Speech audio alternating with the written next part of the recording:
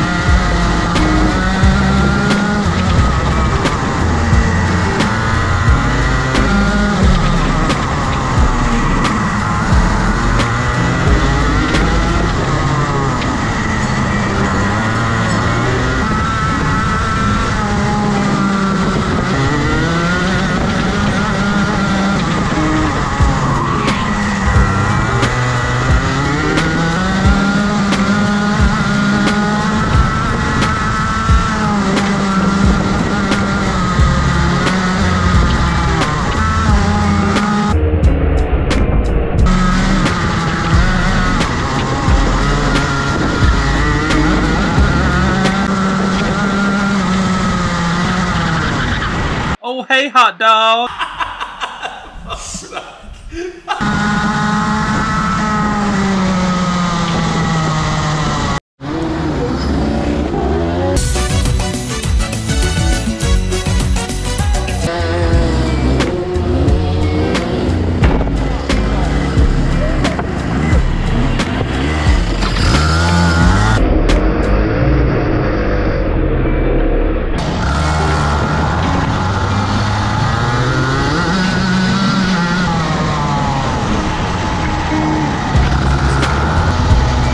Get in there, Lewis.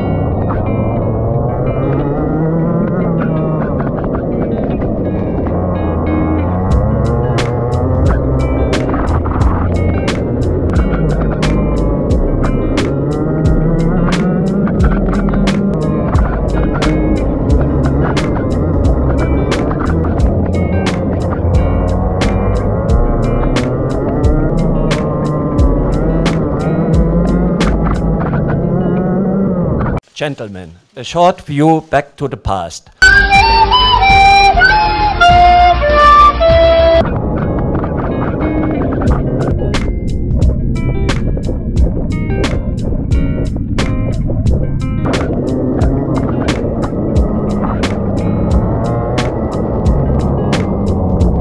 Good morning, it's Mike at Car Smart Valeting based in Cranbrook, Kent. I'm about to take you for a walk around. No, you fucking don't!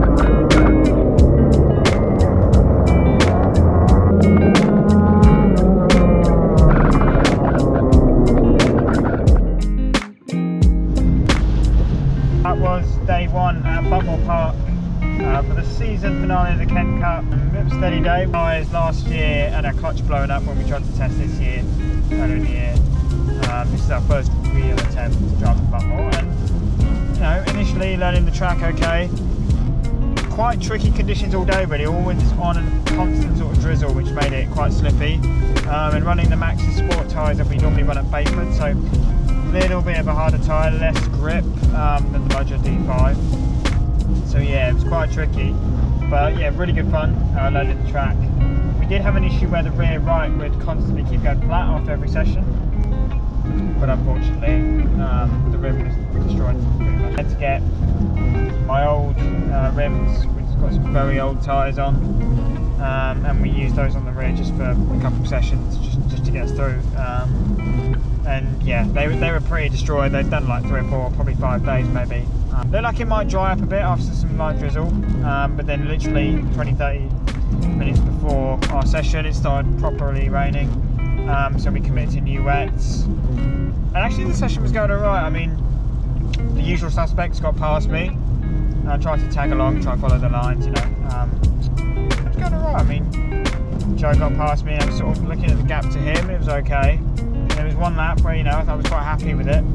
And um, I had a pretty hairy moment down in the S, um, down the sweep, which ruined what was probably going to be my best lap. So I'm kind of kicking myself. So instead of being in the top 10, we're languishing in P20. Well, Joe's P6, Jono's P9 or P7 or something like that. P9, I think, and then Riley's like P8. So, yeah. Although, said that, having said that, we felt relatively comfortable in the wet, which is good. And in the dry, we were getting there.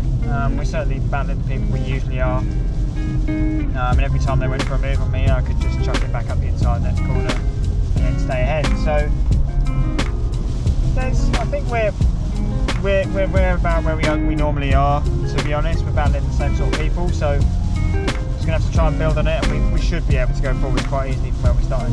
Um, but there's, having said that, some of the quick guys had a nightmare as well. So Zach was down in P22, Max was down at P.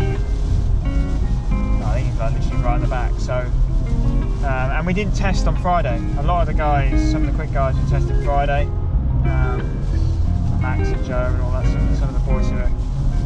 Well, we didn't get that opportunity, and um, yeah, there's a, there's a few guys who've done a lot of racing at Buckmore Park back in the day when they used to have the club stuff more regularly. Um, but yeah, we'll see how we go tomorrow. Um, but yeah, I think we're in the mix, so it should be a fun day. it's uh, going to be conducive to some competitive racing. 34 karts on track. This is going to be crazy.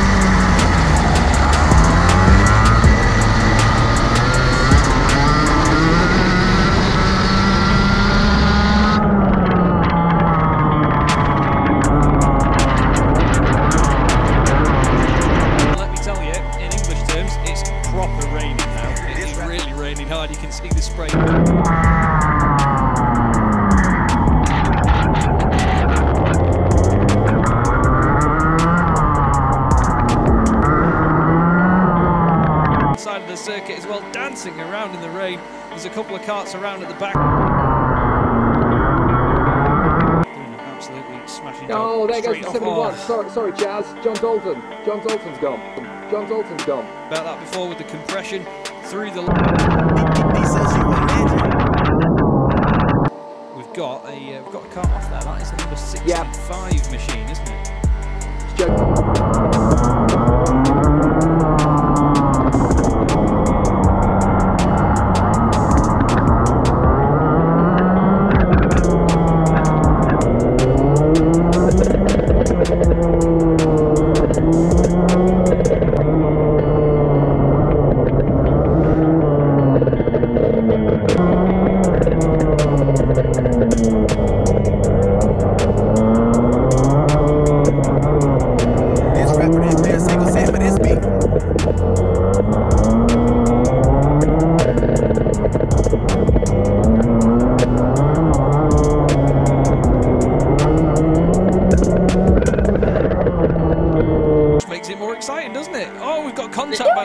Is- way.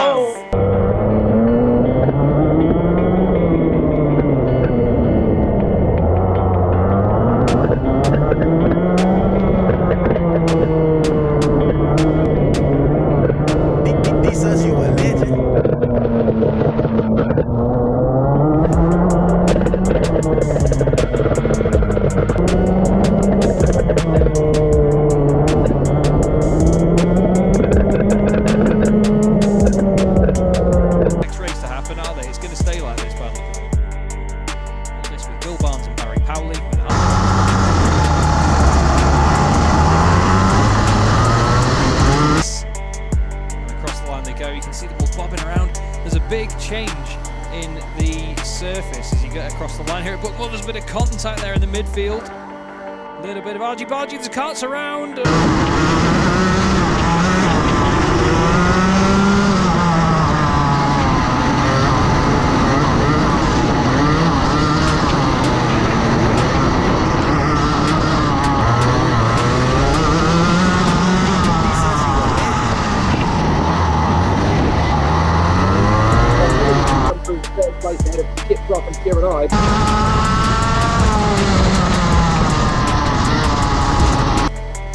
A lot of interesting battles to come, but it's Jack Bartholomew who's on the back foot.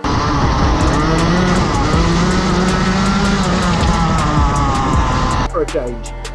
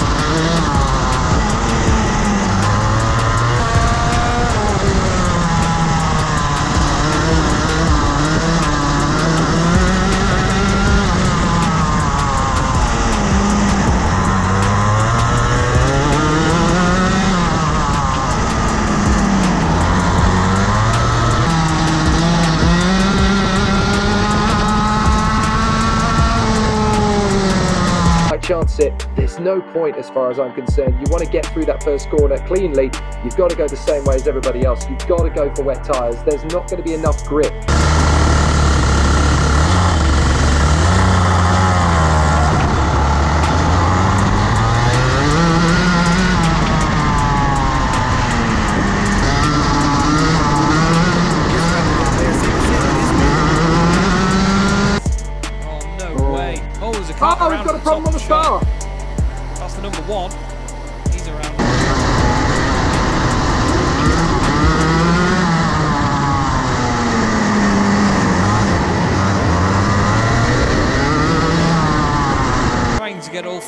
Turns one and two. Plenty kicking off as well.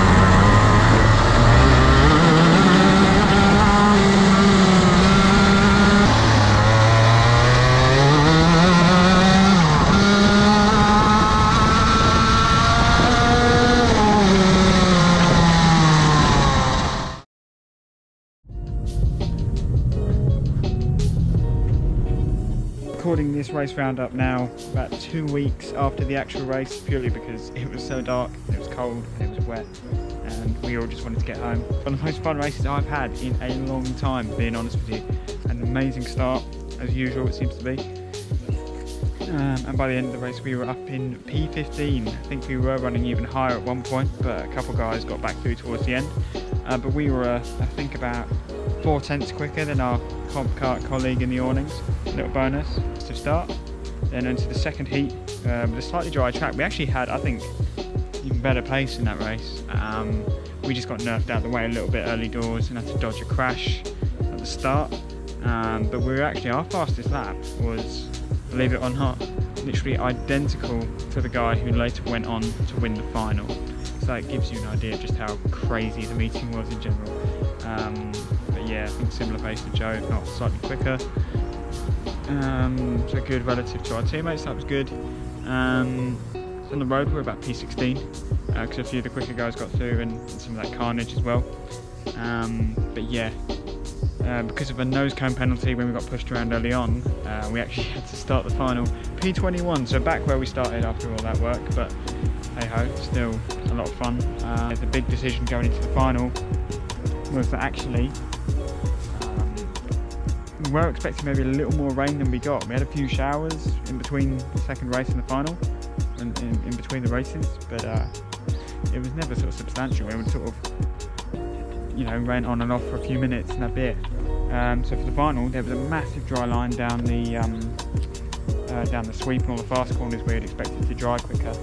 Um, as usual, as Buckmore being under the shelter of the trees, um, it was a little bit sketchy at the top. So it was a bit of a debate whether to be a hero and go on slicks. And to be honest, as we were on the dummy grid, seeing a huge dry line, literally bone dry at the bottom, apart from obviously go offline um, you know, it looked dry and I was just thinking, knowing how soft the wets were, we were going to chew them up. So yeah, I ne very nearly switched last minute, but only a few people went for slicks in the end. And it was actually the right call just as well, we didn't try and do anything bold. Um, but what we failed to do was drop the pressure sufficiently. Some of our teammates were running as much as 10 to 11 psi lower than what we were on, to give you an idea. So that meant we basically cooked and destroyed our tyres pretty early doors. Tried to cool them off, but um, yeah, pretty futile effort at that point. So we dropped quite a bit in that race. It was had a few really good battles, and it was good fun. But it, it was a race that was dominated by tyres. Due to Team F100 for making it possible, um, and Team F100 are also going to be running some more meetings at Buckmore next year. So I can't wait for that, and it's brilliant to have Buckmore Park sort of back on the owner driver scene again. Forward to 2021 with GMS uh, for the whole season.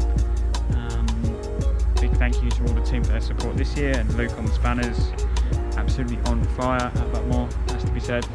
Um, but yeah, uh, made, Luke actually made some really good calls. Um, we had to suddenly change the wet setup for the for qualifying, um, reminding me of a few bits and actually probably made all the difference in the end. So big thank you to him, um, and hopefully we can continue that dynamic duo into 21. Until then, guys, Vega Bones out. Cheers.